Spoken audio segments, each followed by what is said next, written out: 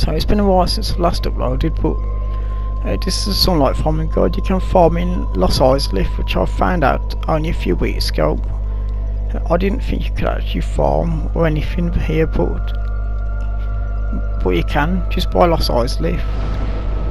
So if you don't like co-op or anything, you can just uh, just grind and stuff, sunlight medals. Um, also, so about the uploads and stuff, I will be uploading more. Also, I'm excited for Elden Ring uh, and other stuff. Um, but yeah, you can follow me on, on my social media accounts on Twitter, uh, Discord, where I'm, where I'm usually am, like now and then.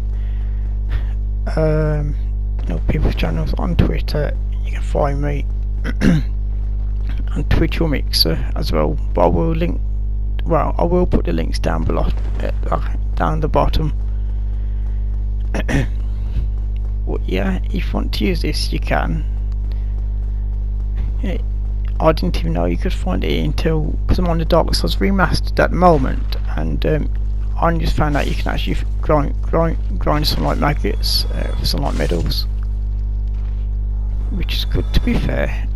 I didn't even know this, and I've been playing the game a lot since the game first came out on the PS3 and on and, on, and also on the Xbox.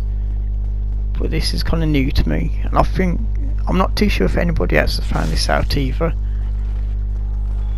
But yeah, if you enjoy it, feel free to share it and stuff. Also, follow me on social media and stuff. Uh, links will be in the links will be down uh, down the bottom. Right, and have a good evening. Bye.